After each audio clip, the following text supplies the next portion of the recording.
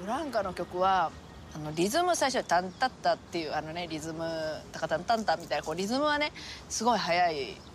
うちできたんですよ。リズムは早々できたのにメロディーは本当に開発のもう終わりぐらいになっても悩んでたんですね。であの朝通勤電車に乗って今日さすがにもうブランカの曲作らないともうちょっとやばいぞ間に合わないぞっていうブランカのことを考えながら電車に乗ってたらもう私ドアの外に立ってたんですけどそこから見えるあの電車のね網棚ですけどそこに黄緑の紙袋が載ってて見た瞬間にああこれブランカの色だなって思ってその思った時にあのメロディーが頭の中でいきなり流れたんですよ。ラリラリンってこう流れてで